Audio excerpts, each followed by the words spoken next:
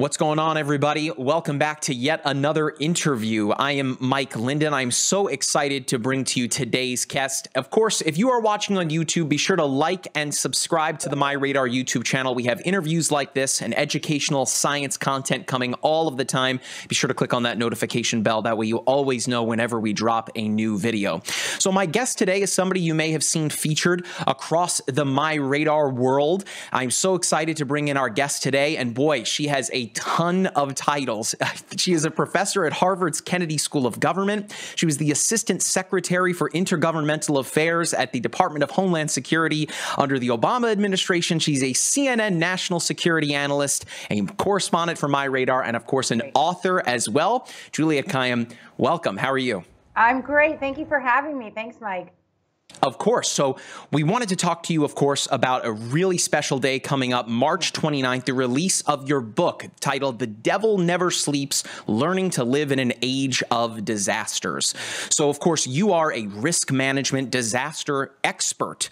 When you were putting this book together here, I mean, there was, it, when I was reading it, there was so much yeah. that you covered from Sully, SolarWinds, Y2K, COVID, even to Chipotle's E. coli incident. How did you fit so much right. into that book? Well, th- th- thank you so much, and it's it's uh, it's so great to be with you, and grateful to MyRadar and Andy and you and everyone for all your support because we're we're all we're all in the same world, right? It's uh, um, of uh, disaster management and risk mitigation. I have been thinking of a book like this for a long time. I think COVID uh, maybe both gave me the time and the uh, to reflect and also write, and it really was. Um, a, basically it was to take away the surprise out of disaster management. Most people do not know that the word disaster uh, actually is dis for not or bad, and aster is meaning sort of a, alignment of the stars. So it's so we've always viewed disasters. Uh, we're still beholden to this definition as some sort of surprise or shock, something that we sort of can't control. And disaster management has been framed around that belief that it's something unexpected and unanticipated. And I mean, you know as well as I, whether it's climate or cyber or pandemics or terrorism or you name it uh, that the devil never sleeps, right? That that these are we're in an age of recurring disasters, and how should that change the way we think about disaster management and honestly how we measure success? Because we really we really can't measure success simply by did we stop the bad thing from happening, but whether the investments we've made have minimized the harm that is that is going to come to these uh, communities and families and, and nations. And so um, when you talk about the sweep of disasters, what I did is I took a step back and said, you know, instead of viewing each of these as individual, right? Oh, this happened in Paradise and this happened at Chipotle and this happened at Boeing. What are sort of the common themes about both what went wrong, but also what went right that can help guide people through uh, the, the years, unfortunately, decades, maybe centuries ahead? So, what about disasters and yeah. crisis management attracted you? Why did you want to get into that field to to to to help people or to yeah. prevent these things from happening? It's funny because I actually um, uh, my career started off. Just think about how um, uh, insular it was. I started off as a uh, as a as an attorney at the Department of Justice who got into counterterrorism. This is before 9 11. So I was involved with counterterrorism cases, very, very discreet field at the time. And then, of course, 9 11 happens, and you know, I'm in government and then serving on a commission and then in academia and really focused on essentially this what we call left of boom, right? Which is, you know, how do you stop the bad thing from happening? The boom could be generic. And like many people in my field, and I thought about really from the homeland security perspective, it's defensive. It is so how do we stop essentially 19 guys from getting on four airplanes. Uh, that changed, my interest changed after Hurricane Katrina, which was really, gosh, we're so focused on, you know, stopping this bad thing from happening. We haven't nurtured our capacity for what you, you learn in the book is the sort of right of boom capacity, which is after the bad thing, what what we, what do we wish we had done at that moment that would have minimized the harm. Uh, and so over the last 15 years, I guess, it, has been really focused on on sort of nurturing those preparedness capabilities uh, against a narrative, as you certainly know from media, that you know that that you know is sort of a never again narrative, right? Like, oh, that can't happen again. Why does this keep happening? Well, it kind of keeps happening, and so that's how I got interested in it. And the title of the book, I should say, comes from I think you know you have these light bulb moments in your careers. It comes from a visit that I made to Joplin, Missouri, a year after the tornado that devastated that community. I've been with you recently about tornadoes. We know tornadoes are uh, are sometimes are, are so horrific because of the lack of ability to warn against them in many ways and how quick they are. And Joplin had lost over 100 people, small community in Missouri. And I went back at the year anniversary and uh, and was talking to a woman who had sort of become the the lead in her uh, in in rebuilding and reimagining in many ways um, uh, uh, uh Joplin, and uh, she's very upbeat and you know very very faith based and you know sort of and I'm I'm trying to figure out like how how do you get that way you know how do you get so upbeat after moments of gloom and doom and she said. Uh, the devil never sleeps. He only wins if we don't do better next time. And it was a it was a faith that was very tactical. It was a sort of understanding that tornadoes would happen again, and and how did how should we focus our efforts um, and be optimistic about our capacity to sort I say assert agency uh, in the uh, in the book. And so that has really sort of flavored what I do in academia. You know, back in government eventually uh, when I did on uh, in, media on platforms like this, and, and also my advising, which I tell some of those stories for the private sector, um, uh, and in terms of thinking about uh, the kind of preparedness that we would want, because the devil uh, always returns. And I'll do a I'll do a quick plug to MyRadar. This is what we started to do before COVID, and hope to do again in the series that we had, the digital series about returning to these communities after something bad happens, because all the media leaves by then. It's like, how are they rethinking, if they should, uh, given climate change, their recovery, knowing in the case of Paradise, for example, that fires will come again, or in the case of uh, the Bahamas, that that hurricanes will come again. I loved the story that you started the book off with finding yeah. the photo in your house. I mean, it's just stranger than fiction that yeah. a risk management expert is living in the home where th- there was a disaster, so to speak, yeah. that struck, I mean, right where you live a, a while ago, of course. Can right. you elaborate more on finding that photo? No, that That's just like a real life treasure hunt. Time. We all, you know, when you look back at the last two years and all these sort of weird moments. And, uh, you know, for me professionally, it was such a strange year 2020 because everything stopped. I wasn't traveling anywhere, and I'm on the road almost all the time for my work. Uh, but um, uh, but I was very busy because I was helping institutions and private sector and and mayors and governors about sort of you know about planning for COVID. I'm a I, you know, I, I, I I'm a consumer of intelligence. I'm not a doctor, but sort of how should they be thinking about this disaster? Because once again, there's commonalities amongst all disasters. COVID might be uh, uh, novel, but it's not new, right? It's just it's just a disaster, so to speak. So I'm home, and just you know, very quickly, we, we sort of have an accident in the boys' bed, a bathroom where the ceiling comes down. Uh, in it, we find a crawl space. We've t- been told that there was crawl space, but it was significantly bigger than crawl space. I live in a very old house uh, in Cambridge. It was built in the 1840s in Cambridge, Massachusetts. Uh, and in this crawl space, my uh, we found one picture, uh, and it was just of a man by a drape, sort of sitting. He was dressed up as people did in pictures at that time. I put it on Twitter. Uh, and fast forward, and what we learned because Twitter is amazing, these genealogists are amazing, is that uh, it's the it's a the the uh, that the McHugh family had lived here during the uh, what we now know, call the Spanish influenza, but um, uh, the Great Flu. Uh, in 1917 uh, to 1919, they lived here. Uh, and they had a daughter who, in the third wave of the Spanish flu, got uh, uh, got sick, they had put her up in what's called the sort of infirmary room. These are rooms that existed in houses. Uh, it's like you know, I I, I don't want to people to think that there's a room in my house I didn't know about. It's it's narrow and about four feet tall. But uh, she went up there. She ended up dying. She was 19 years old, uh, and they must have had brought pictures up to her to keep her company and to isolate her and uh, and uh, she died in the house. Uh, the funeral was here. The body was here. There was a pretty well-known family, the McHughs. They moved out that year. Uh, then it went to a variety of owners until it came to us, and it was that um, circular, sort of that both that sort of horror, right? I mean, this is my house. I have a 19-year-old daughter. You know, the horror of the third wave of a pandemic, sort of as we are experiencing now, that these things come in waves and people still um, uh, uh, die in the first, you know, in the second and third, if not fourth waves.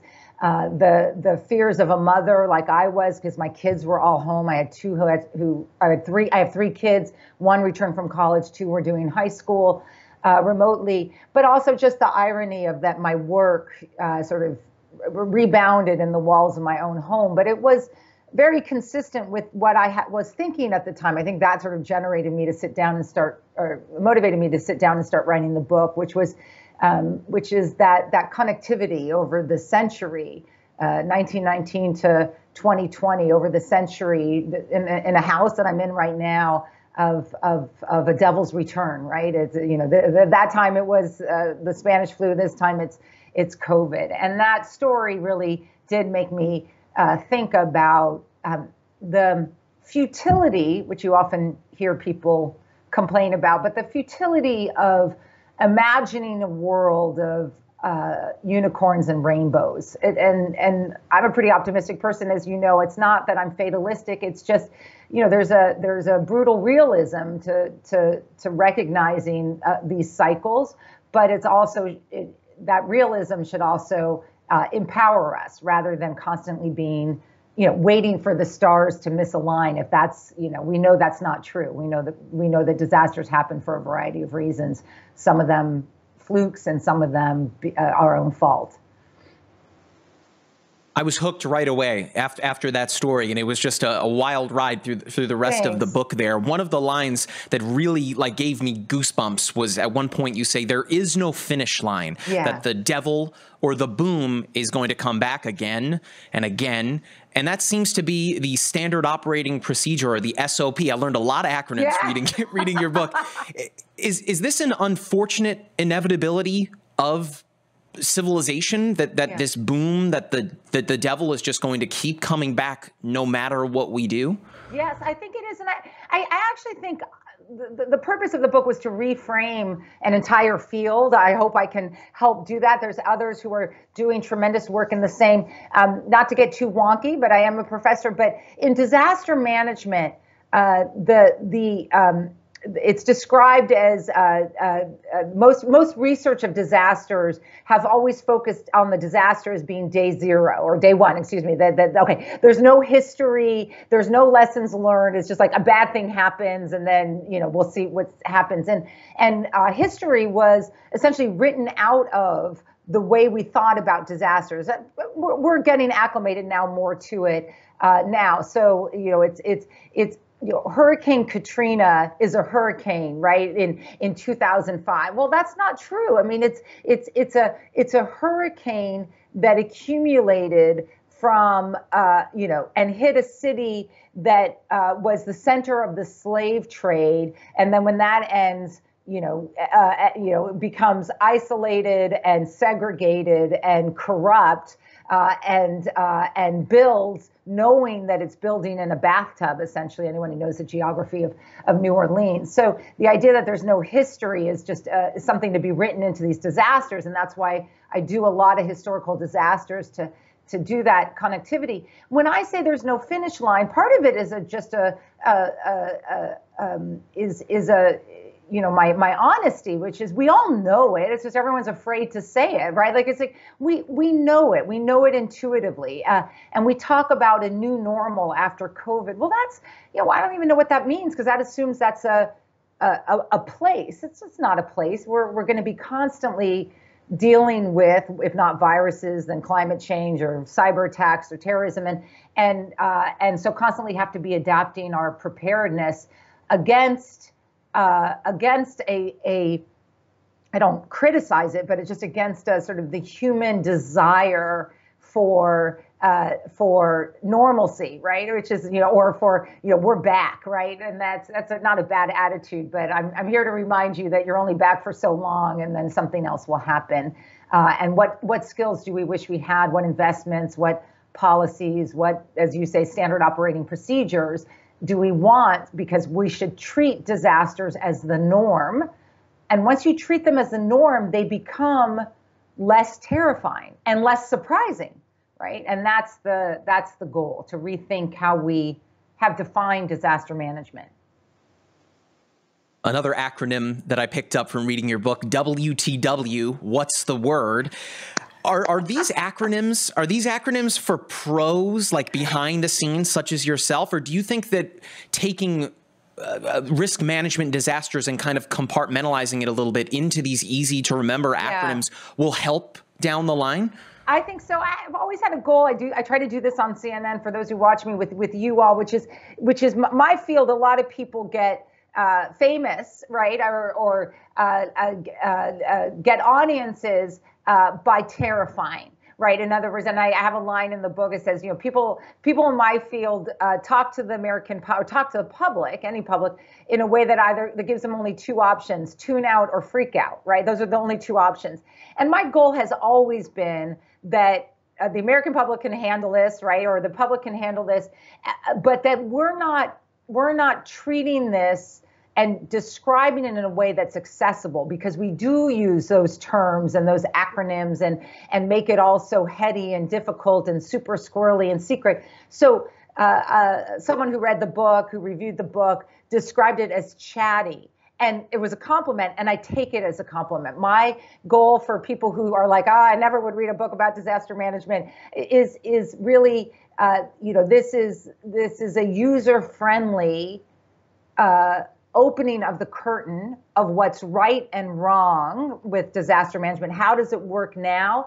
And how should how should it work in an age of disasters? How should we change it? So acronyms like GOBI you know general officer bright idea or situational awareness i give a wonky explanation of that uh, and WTW was what's the word? Although I should admit that one came from my son, uh, as I described. I do have personal anecdotes in it, but um, anyone who has teenagers, you'll ask them at say 7 p.m. Are you going out tonight? And they'll say I don't know. And then at 7:05 they go, Okay, I'm meeting friends here. And you're like, What happened in that five minutes? Right? The rest of us are like, you know, begging for plans.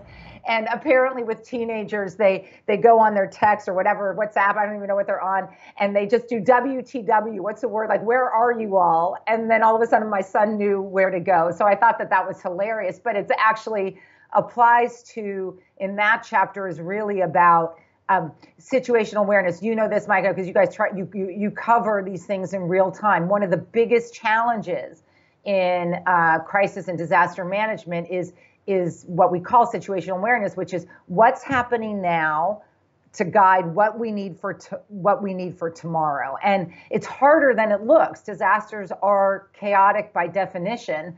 Uh, so how can we get better ways to to uh, to understand what's going on so that we can drive resources and then explain to people what they need to do. And, and you know, not to praise you all, but I think that's what platforms like yours are trying to do as well, which is we've got to take the fear out of this because it's only through um, agency, which I, you know, which which I'm a big big fan of, is only through sort of eh, eh, you know agency. Yes, we can do this, right? It's going to be horrible and people will die, but fewer people will die because of our investment in preparing for the devil's return, and that's that's I think a common theme by many of us in this field now, which is uh, you know, minimizing the consequences of the harms that are surely to come.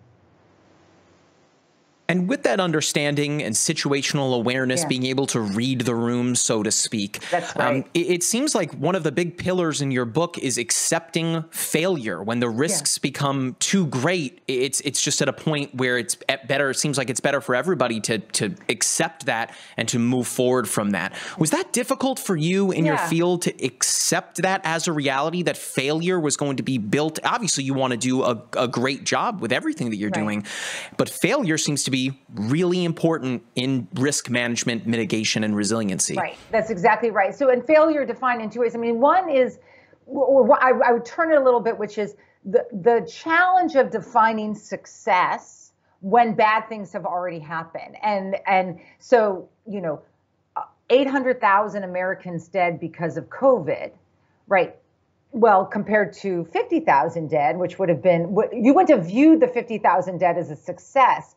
But compared to our failures in preparedness, which led to 800,000 dead, 50,000 would look good. It's a very hard thing for people to get their heads around. I'm not praising 50,000 deaths. I'm just saying that that difference is how we begin we should begin to to measure success because if we had done our preparedness right, there would have been losses to COVID. Every country, whether successful or not successful, has had deaths. It is just there would be fewer. But the other piece that you're alluding to, and I and this and I write about our trip to to paradise uh, uh, that I did for MyRadar, which is knowing that the devil's returning. So thinking about fires, um, uh, there will be moments, and this is not always feasible, in which what we call managed retreat becomes uh, the the best uh, action against the devil. I mean, in other words, in which you just concede defeat before he comes again. And I think that's really true in terms of coastal building, in terms of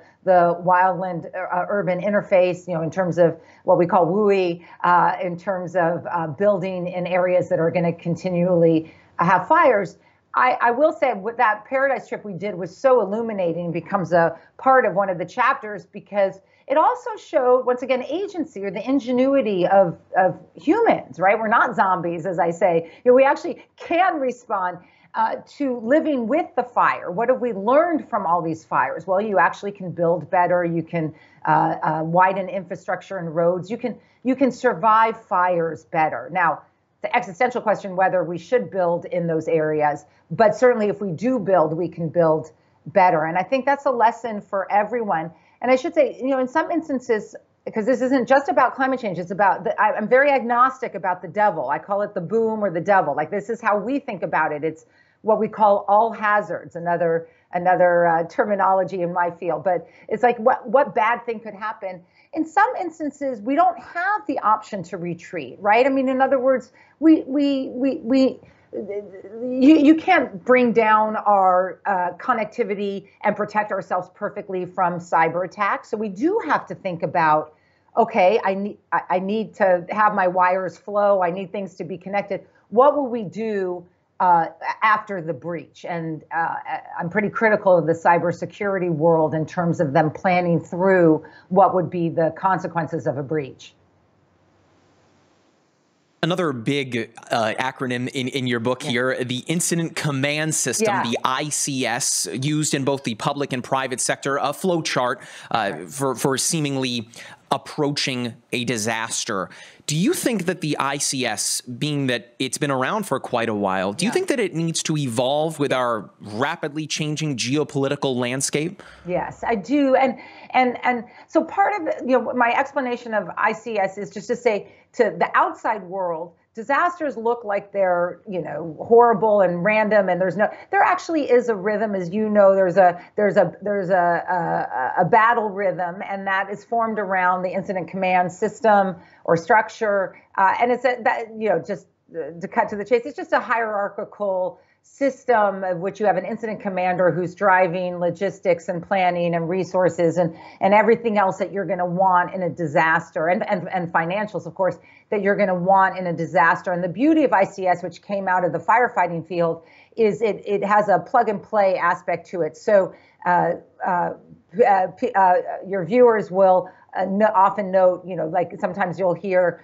well, you know, 60 firefighters from Massachusetts are being deployed to California. Well, they don't have to get retrained. They're all trained in the same universal structure. So you could just plug and play them. You go, okay, 60 of you, you're going into this part of the incident command structure where you're dealing with logistics or you're dealing with firefighting uh, uh, in this area.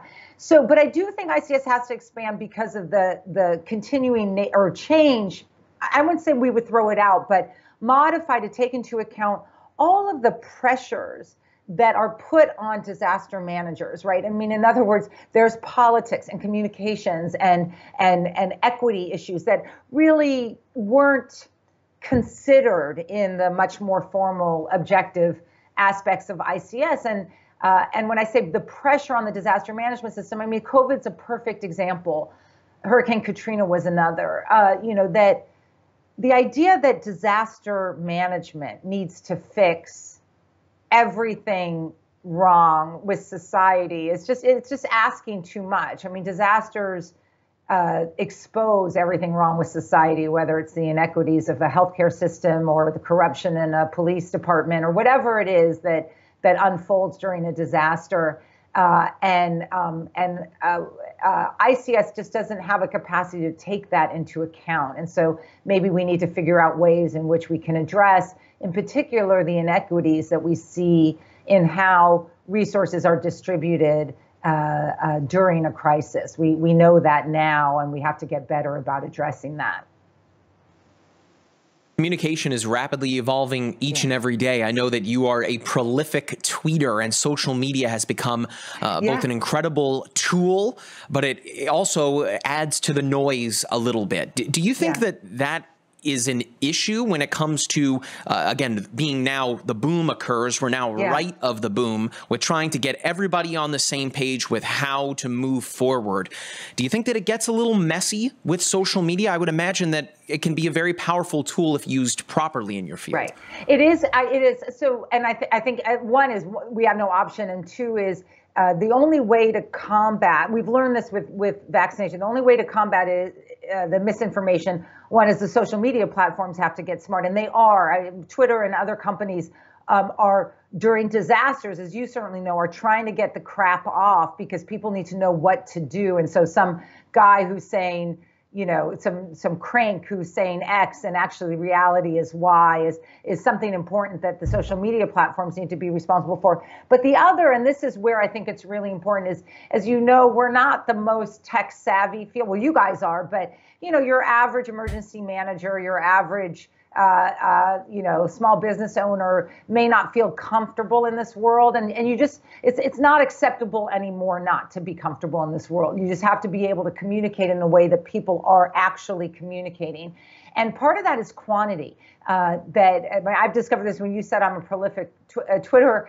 I mean, part of it is you just you have to get your voice out there consistently and in a manner that engages people. So one of the things that I've noticed, which I think is really important, this has more less to do with climate and more to do, say, with a active shooter case, is uh, police departments are getting better about saying immediately, we, even if they don't know what's going on, we understand or uh, you know are hearing of a shooting at, at school Y. We are deploying people there now. And they basically what it gives the public is a sense that, okay, well, someone is doing something because it's the silence, right? That that that then breeds the the the the conspiracy and the anger and and the fear, right? It is the fear. I mean, most people just want to know what's going on. As I said, you know, they just want to know what, you know, numbers and hope. That's what the public wants. They want numbers, what's going on, and then hope. What are you doing to make tomorrow better? And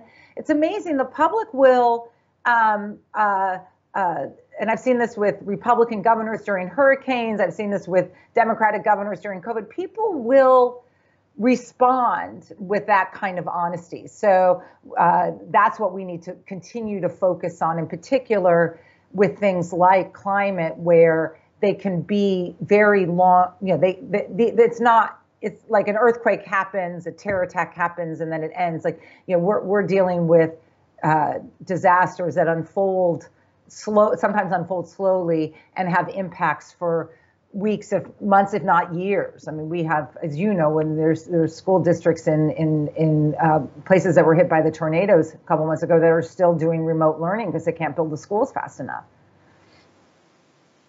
it truly uh, is wild to read some of the the passages that you have in your book. One that really stood out to me was when you were talking about the Challenger shuttle disaster, yeah. and the quote being one of the most studied disasters for how an entire institution, well aware of the risks ahead, let ego and politics silence the warning signs. Yeah. So, for someone like yourself that has worked on the inside, so to speak, is that a concern that, yeah. that politics and ego are getting in the way of, of literally saving human lives? Right. That was 1986. Yeah. So it was. So people, you know, and and I'm I'm very, you know, if there's any criticism I fear about the book is I'm not um you know, I'm not a woe is me writer. I'm not a blamer. You know, I mean, I you know, I criticize institutions, but um, but to me, that's like, you know, okay, there's greedy people, there's whatever.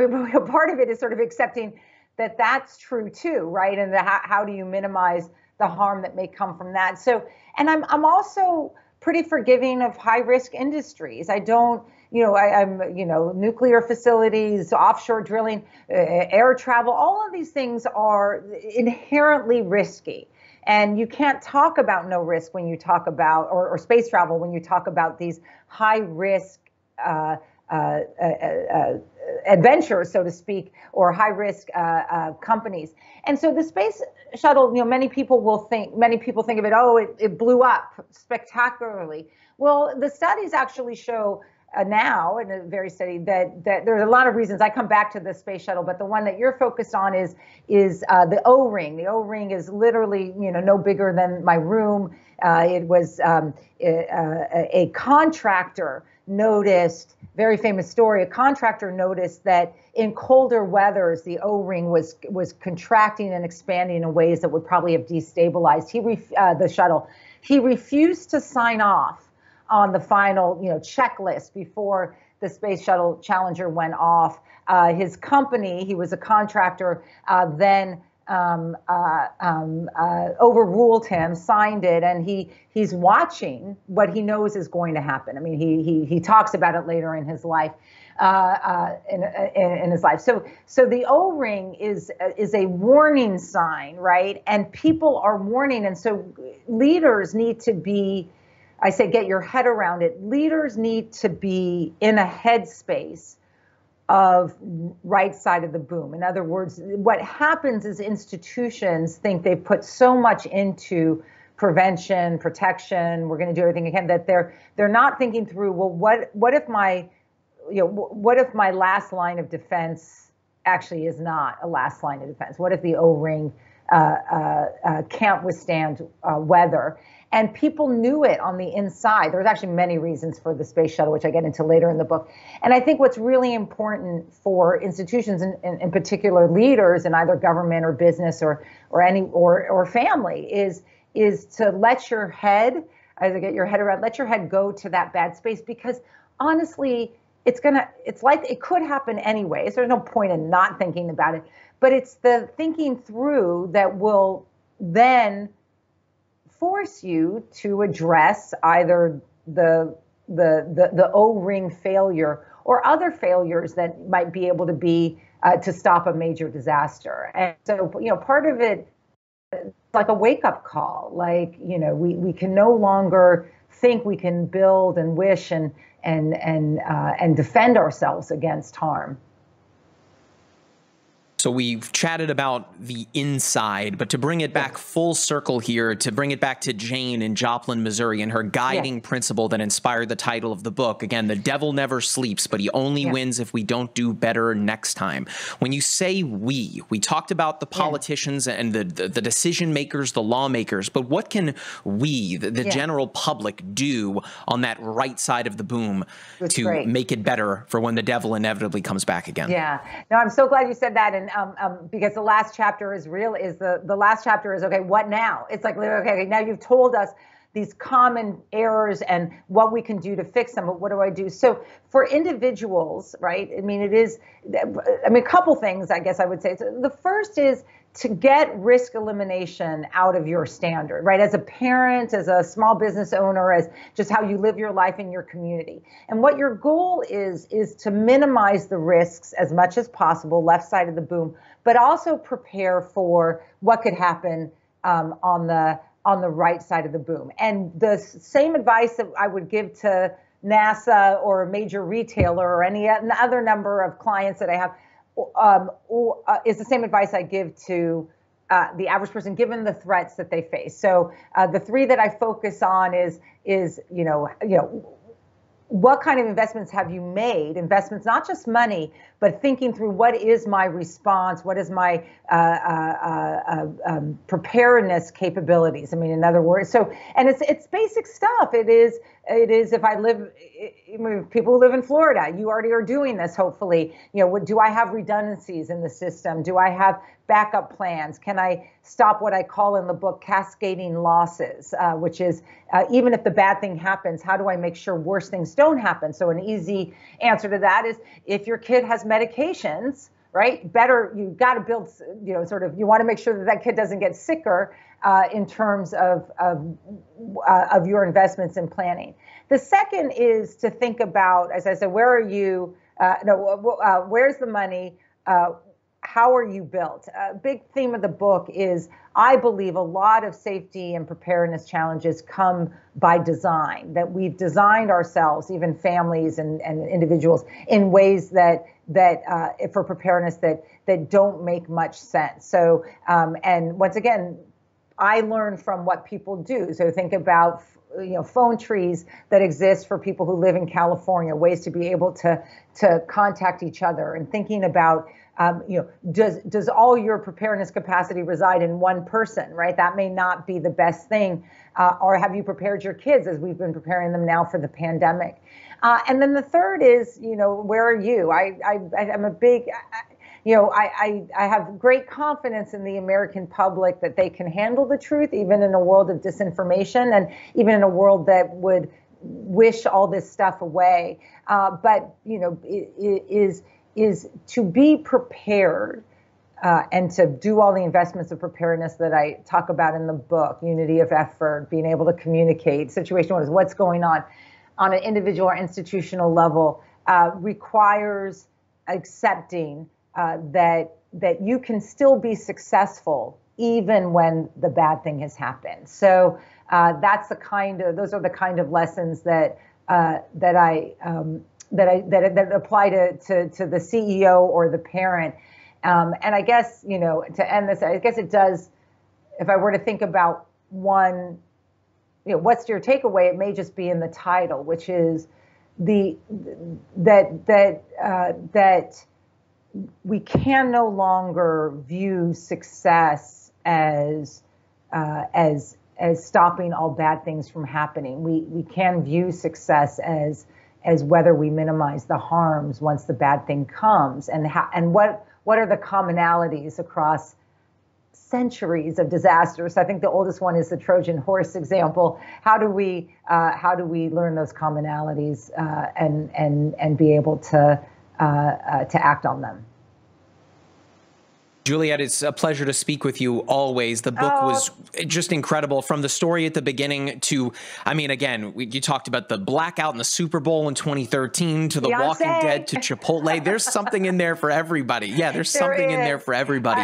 I, I do say it's like, you know, if, if Trojan horses, Churchill, or Beyonce is your thing, I've got something for you. But um, uh, but it, it's it's a book that is intended for audiences like yours, people who who care about what's happening to uh, the world and worry um, uh, and just need some just need to be told what does it mean to have agency uh, and what can I do. Again, the book coming out this March the 29th on Amazon and across all major publishers and booksellers. The Devil Never Sleeps Learning to Live in an Age of Disasters. Juliette, again, it was a pleasure Thank to speak got, with you. I, I really appreciate it. There it is. Yay! there it is. Um, Excellent. Thank you so much. It's been it's so great working with you all and everything that's that's being done there to to prepare people. That's all we can do. I I I I, I hope to mitigate some of the challenges or harms of the climate uh, changes and disasters we're seeing them. But in the meanwhile, there's still a lot that we can do. So I'm not the most creative person in the world, but I had an idea of of of the sort of um, boldness of the cover, but I didn't know how to describe it. And then um, the maybe the most fun part of writing the book uh, was uh, being with my publisher. Public Affairs has a graphic designer, book cover designer, a guy named Peter Garceau, who, uh, if you G A R C E A U, if you look at his website, he's done a lot of big books uh, and famous books. And he read the book or read at least what it was, uh, so early versions of it, and really did think that that idea of of multiple different kinds of disasters uh, in a way that sort of pops out at you. Uh, has a sort of fill of a thriller, uh, which I think is great. Uh, you know, all that's missing is the love story in the in the book, and uh, um, and really grateful for him because it is it's the kind of book that you're like, okay, I feel like I could handle this book, right? As It seems familiar, uh, um, and so it's really, yeah, I I couldn't have been happier. So it's a fire cyber, and then a pandemic. Another uh, a quick quick little lightning round of questions for yeah. you here as well, Juliette. If you if you have some time here, we have some questions from some folks that asked us on social media that I wanted to to run oh, past good. you here. Um, so first question for you: Are there actually more disasters, or are we simply inundated with news about them more and more? So there are both. Uh, so all of the above. So there are more disasters, and the the difference is also they're bigger. So if you just look at multi, if you look at uh, disasters that are over a billion dollars in harm, uh, some of that has to do with the way we built, so that the harms you know increase and and the price tag increases.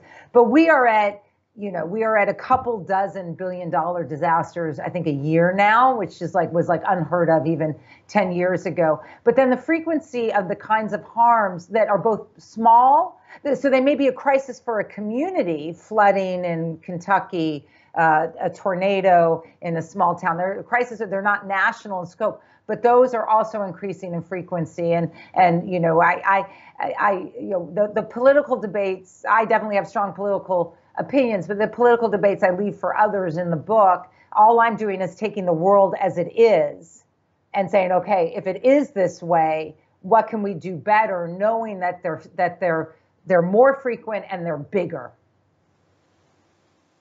Next question here for you from social media. How yeah. critical is the food shortage for our yeah. population growth going to be over the next five years? It's so interesting. So I don't have the exact numbers in, in front of me, but um, it's such a good question because it links climate change to the security threat that most of us in national security view it. This is not just an environmental threat to our planet and to us and to animals and to and to and to plants. It is it is also a security threat because the food shortages, and I'll start outside of the United States. The food shortages, the the, the deprivation of basic resources to populations because of climate change is when two things happen conflict, because people are fighting over limited resources. So that's your national security frame, and migration.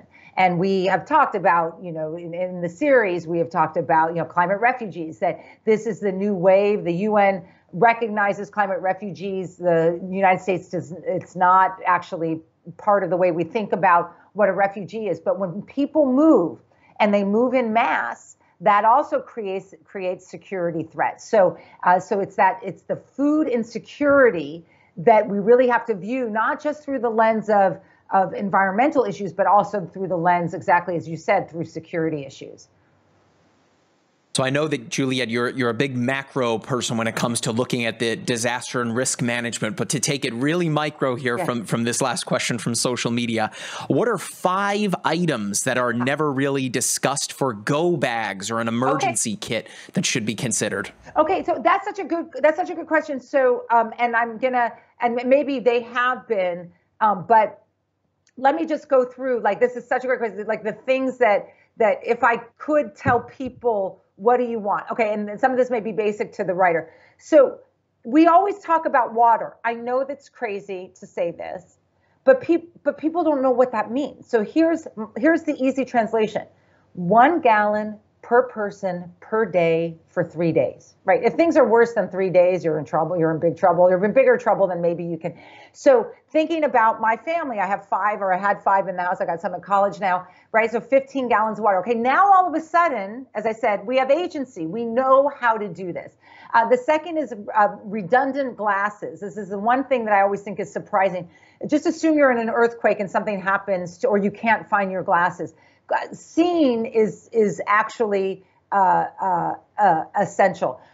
In your go bag, I would not recommend this but you're just going to want access to some energy supply, uh, uh, either for your car. So those of us in the field, I'm, you know, I start to like get into a sweat if my gas tank is like lower than a third. My family laughs at me. That's probably my own craziness. Me too. But you, Me I know, you want to make sure that you're going to be able to get somewhere if you um, have to get somewhere. Here's the fourth, and it does not require uh, doing anything. It requires thinking numbers, right? So we are now so focused on these things uh, being our only access, right? Well, these things may not work. I should be careful. These things may not work uh, uh, in a disaster, right? So you want to be able to figure out numbers in terms of what are addresses where you might meet or other things. So If you cannot communicate for some period of time, the idea that you can just call may not be true uh, uh for um, for yourself. And then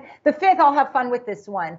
Um, everyone has their thing. So either whether it's a stay home bag or a go bag, everyone has their thing that just makes life better. I'm not going to condone drinking or cigarette smoking, but but you know, if you think you're going to be home for a couple days, what are the things that will just as the parent or the the owner of the house will make your life uh, just a little bit better? That's what we want. So so there's a uh, Twizzlers in my house because that makes mom happy. Uh, but uh, hidden.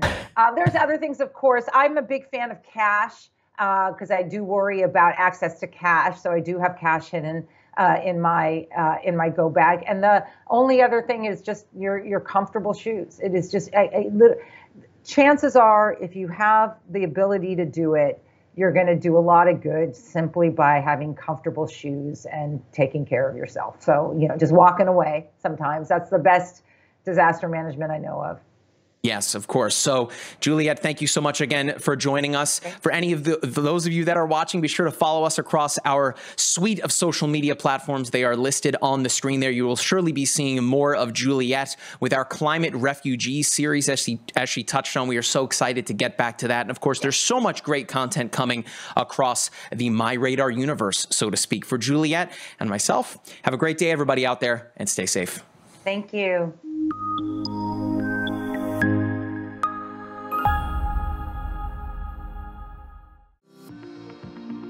Follow MyRadar on social media Facebook, Twitter, Instagram, and YouTube.